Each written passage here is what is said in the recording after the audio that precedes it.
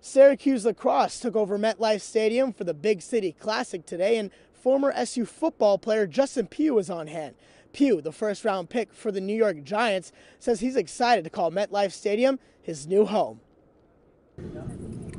So you got your uh, got that call pretty early on. What was, talk about what it was like to be on the phone. Obviously, this is video circulating of everyone kind of jumping on you. What was that moment like? Yeah, I mean the, the whole thing was I didn't really want a lot of media there. I was going to be with my, my direct family, my best friends, and then um, as soon as I got that call, it, it, was crazy. My buddy actually he worked for Bloomsburg football, so he had a camera there. He knew what to do. He knew how to get it on YouTube. So as soon as that call came, he wanted to document it and kind of you know be able to relive that moment. And um, got the call from Coach Coughlin. First thing he said, "Hey, we're taking you in this next pick," and then. Uh, he's like, hey, it's time to burn all your Eagle stuff. So that's all that all that Eagle stuff is down in my house right now. And uh, he's like, hey, welcome to the New York Giants. I just hung up the phone, and then it, all the all the chaos um, commenced. I guess you could say. All my buddies jumped on me. It was a great experience. it I mean, happiest day of my life.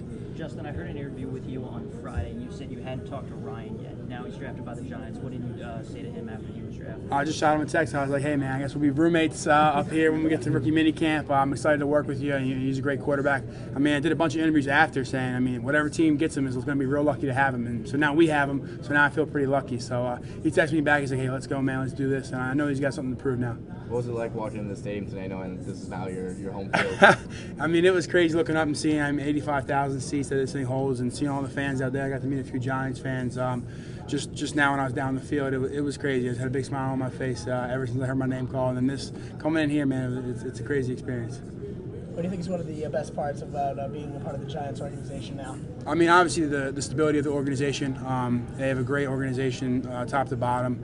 Uh, year in and year out, they go to the playoffs. It's a great thing. You have an elite quarterback in Eli Manning, um, and then obviously you're playing in New York City, which is awesome fan base, and when you're doing well, I know that. I know that. So I'm excited to go out there and, and just start playing football. When you and Coughlin talk about on the phone, there, you, you said a lot of yes sir. There's a lot of yes sirs, a couple Syracuse references. I was like, yeah, we'll just we'll just keep it to Syracuse and the New York Giants. Uh, he was just like, we're excited to have you. He kind of told me why they why they picked me. They like my versatility, um, like what I can do on the field. Knew I was a smart guy. Knew I wouldn't have any problems with me. So it was something that. Uh, I was just I was just smiling, a couple yes sirs, and I, I know I, I, everyone was waiting for me to get off the phone so they could just jump on me. Shamarko drafted by the Steelers. Did you talk to him at all too? I talked to Shamarko after I was drafted. I was just saying, hey man, you're next. Uh, I love him. He's a good guy. He's a great kid. Um, I know he's going to do great for the Steelers. I'm, I'm, happy to talk. I mean, I'll, I'll, probably shoot him a text. I shot him a text once he got drafted, but I know he's been so busy. I'll probably talk to him, Ryan, all the guys uh, soon. The first first round pick out of SU since Don McNabb. What, what does that mean to you? I mean, Chan- offensive. You mean offensive guy? Because yeah, Chandler was last yeah. year. Um, that's kind of crazy. I didn't, I didn't to think about it like that, but I mean, um, hopefully there'll be more coming. I mean, that's all I can say. It's, it's an honor to do that and represent the school, represent the community. Um, it's been the best four years of my life, but hopefully there'll be more guys coming every year now. You talk, you talked to Chandler? I know you guys had the. the yeah, yeah. I, I talked to Chandler. We had actually made a pack when we were like sophomores that we were both going to the first round, so he held up his end of the bargain. Uh, I just came through a couple days ago. I just I, t- I, I hit him up. I was like, hey, wait, it's 19 two picks or, or two picks before 21. this is like you know we go back and forth. So you know I got a he had a great rookie season. So hopefully I can I can do the same, follow his footsteps. What did you do last night to celebrate? Uh, we just had a little a little party at my brother's house. Everyone came over, but uh, I was beat. I probably left by like 10 o'clock to um, go home and just lay down. Man, it's been it's been a, a tiring week just waiting it out. I finally got a good night's sleep after I got drafted.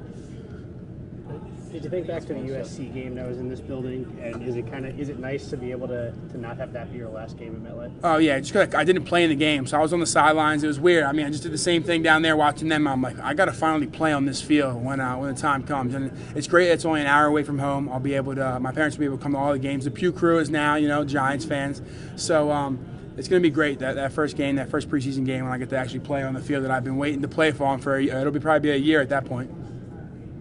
What's the next steps for you?